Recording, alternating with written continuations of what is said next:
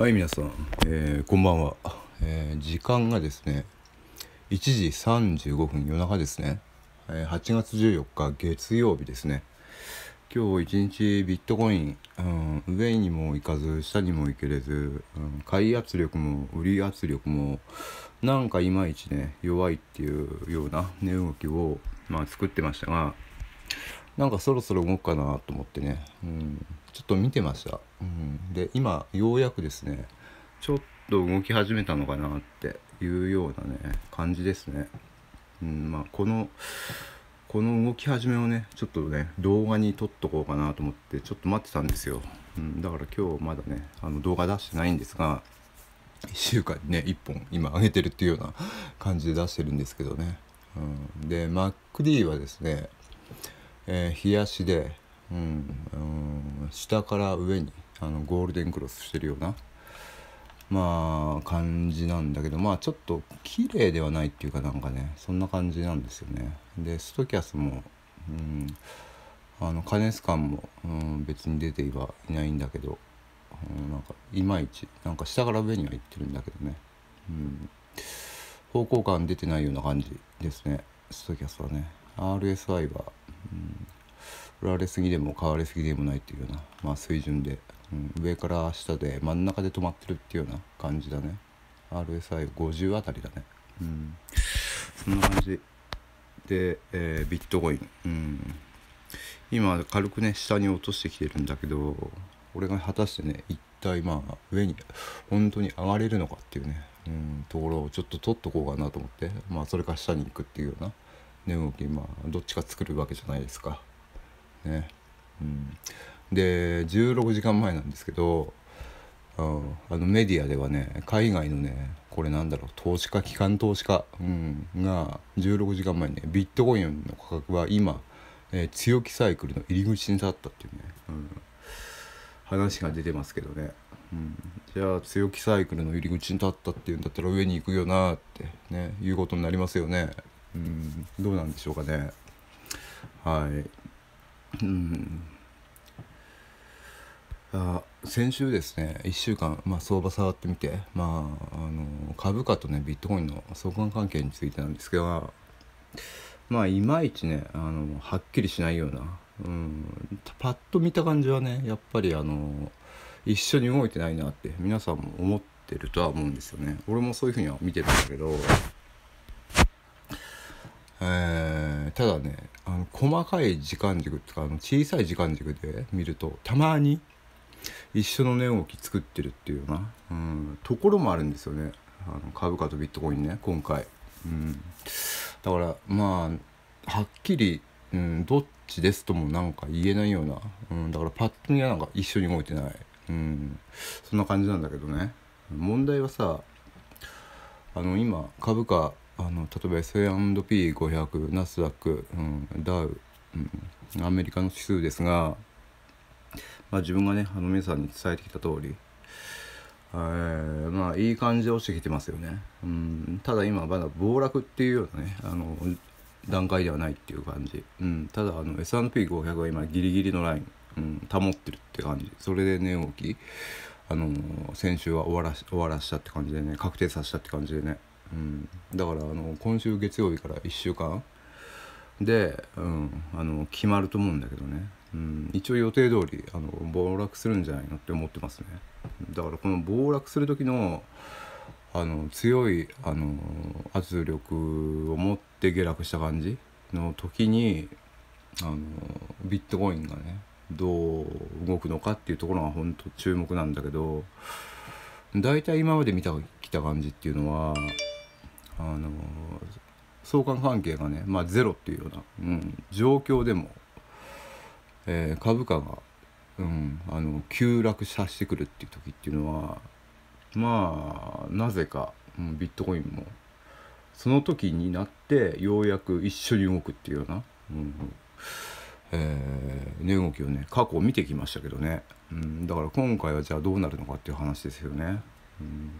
多分今相関関係ゼロなんだけど株価が暴落すればその瞬間から、うん、ビットコインも一緒に動くみたいな感じになると思うんだけどね。うん。まあ本当にそうなるかどうかちょっとわからないんだけどね、うん、今まで見てきた、うん、あのビットコインと株価のあの過去の値動きはねまあそういう、うん、のを何回か見てきたね。うん、ちょっと動画の撮ってる間で、うん、勝負が決まるっていうようなところまではちょっと撮れないかもしれないな。これ5分だけどね。うんえー、4時間うん4時間でねこの、うん、間だよね、うん、こっからここだよね。までの間ずっと、動いてたんだけどね今日一日はね、うん、この高値からこの安値までね、うん、そうしないとこっちの方がいいかな。ね。うん。この間だねここからここ。うん。さあどっちに触れるのかな。うん。今日そういえばあのえー、コインベース、うん、があの今までずっと自分たちの持ち株をさあの今年あの売却してきてるっていうようなあの話今まで言ったことあるんだけどその何て言うのあのまああのエビデンスがちょっと見つかったんでちょっとこの後紹介しますね。コインベースが自社の要は CEO たちあの幹部たちの持ち株だね。うん、それをあの何月だっけな？7月からかな？確か。ずっと売ってきてるんだよね。うん、例えばコインベースの株価をさあの株をさブラックロックが持ってるじゃないですか、うん。ね、何パーセントかわからないけど持っていてでブラックロックはちょっと前にさあの俺動画上げたんだけどえー、何？株の時代じゃなくてねこれからあのビットコインにかけるみたいな、うん、要はリスクを取っててもねビットコインに投資した方があのリターンがね、うん、あの期待できるっていうようなうん、感じのポートフォリオを発表したっていうか、うん、まあ動画あの作ってあるんで見てない方見てほしいんだけど、ね、2個か3個前の動画になるんで、うん、だからその話があの本気でそういうポートフォリオ組んできてるんだったら変更ないんだったらね、うん、ビットコインをたくさんビットコインにねあの俺も投資した方がいいのかなとかやっぱ考えちゃったわけですね。ね。うん。だけど株価はもし暴落するんだったら最高の買いは来ると思ってんだけどさ、ね、ブラックロックがさそこに期待できなくてビットコインの方が期待できるって言ってんだよ。ね、本当かよって思っちゃうじゃないですか。ね、うん。だからその話の続きなんだけど、ね、コインベースの株をあのブラックロックが持っていてさ、ねうん、でビットコインの方が、あのー、投資する価値があるっていうような、ね、判断のポートフォリオを発表して、ね、だったらなんでコインベースはさずっと売ってきてるのって話になっちゃうのなっちゃうわけだ。ね皆さん。うんだからさ、ね、怪しいなみたいな、うん、怪しいなっていうか本当かよみたいな感じで。俺は勘ぐってるわけだね。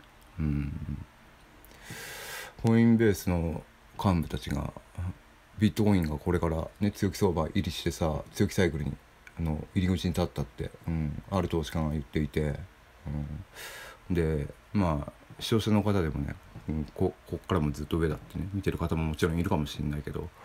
ね、うん、だったらなんでコインベースはねあの自分たちの持ち株をさ、ね、ずっと売却してきてんのかってね話になっちゃうじゃないですか。あこれからずっと上がるんだったらさここで何で売ってきてんのって何ヶ月にも何ヶ月もだよ。ね。うん。まあ数ヶ月か。俺が持ってるその資料は確か7月だったけど7月からずっと売ってきてるっていうな。うん。あの感じのまああのなんていうのかな。まあ画像なんだけどさ、うん、ちょっと見てみますか。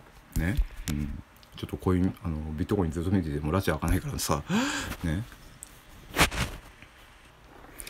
はいこちらが、えー、コインベース、うん、グローバルが、えー、いつからだ？あ7月じゃなくてね2023年4月24日からだね。これ。うん。えー、シンボルコイン。をまあ売ってきてるっていうか、うん、セルって書いてあるからさ。ちょっと見方がよくわからないんだけどね。うん。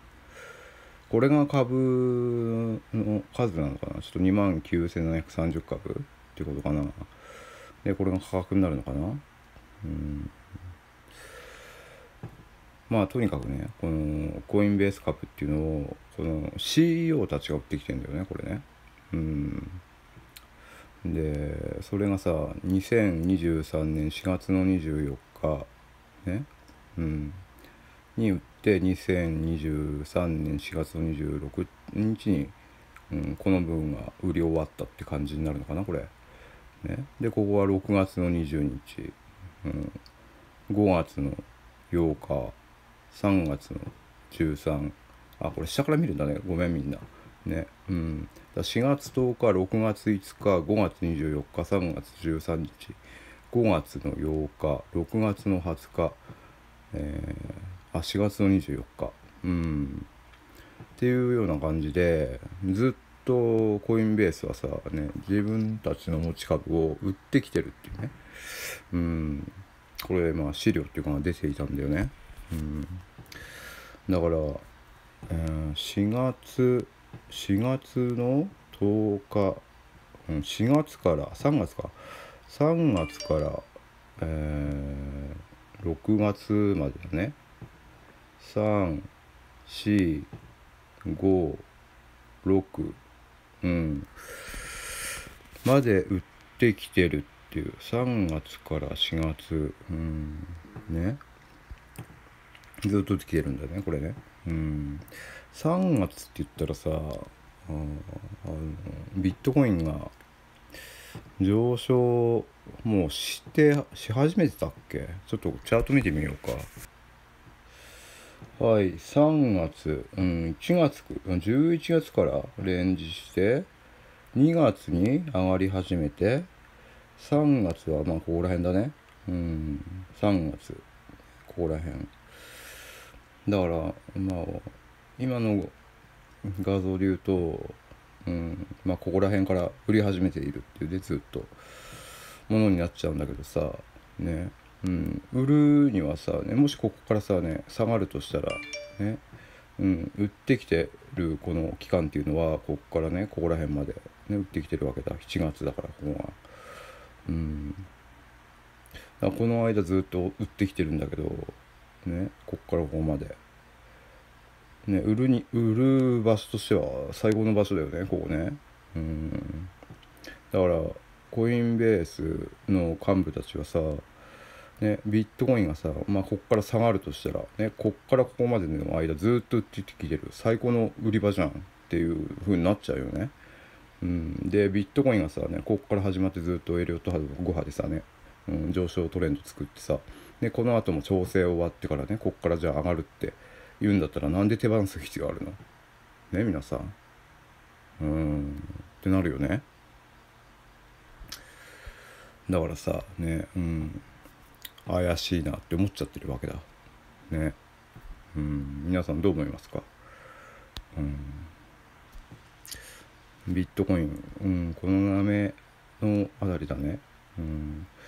こっから、ここヘッドショルダーじゃなくてあのね三尊を形成してパーンって上がっていくっていう風に見てる人たちもいるわけだね。うん。コインベース怪しいなね。え、うん、5分にしようか。うん。ね。うん。ちょっと値動き的にはスピードが、うん、あの速い展開を持って売り買いが進まないから、うん、ちょっと動画を最後まで撮りきれないなこれな。うん。はい。ということで皆さんちょっと今日ねあの動画ここまでになりますけどね。これどうなるのかね本当に。うん。コインベースはとにかく怪しいなと思ってるね俺ね。うん。ビットコインのサイクル的にねあのー、ここから、うん、下降トレンド入り、うん、するっていうようなさ、ね、あのー、毎年毎年は毎回、うん、そういうまあサイクルに入っていくっていうような、うん、過去はそういうふうになってるよね。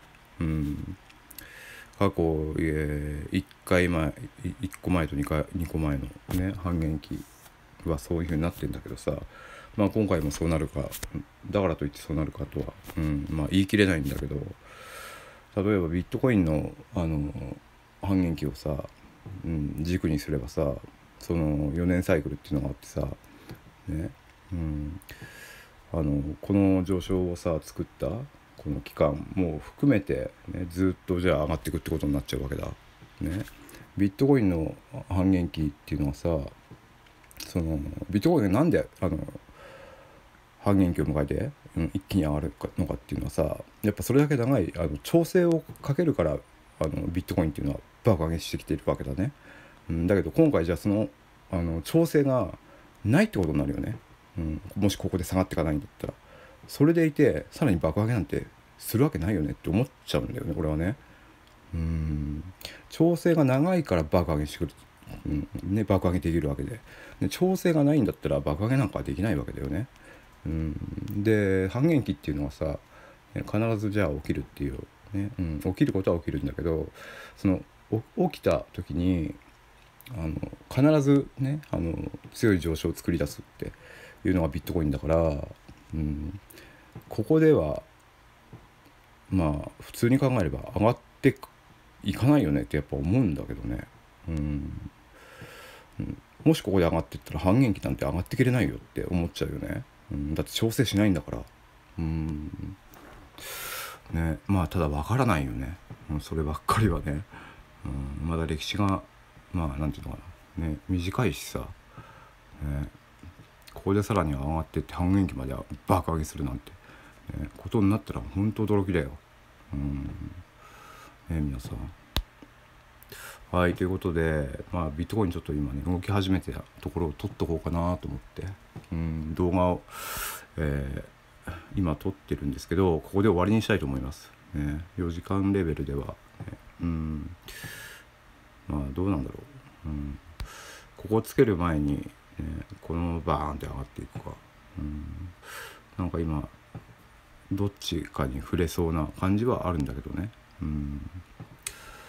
まあ朝になってからねどうなってるのか、うん、皆さんも確認してみてください。ね、ということで今回は、まあ、ビットコインだけにしますけど、えー、今週月曜日から1週間ね、あのー、株価にちょっと注目してください皆さんも。ね。うんはい、ということで、えー、本日の動画終わりにします。面白かったらグッドボタンとチャンネル登録をお願いします。え、次の動画でまた会いましょう。ありがとうございました。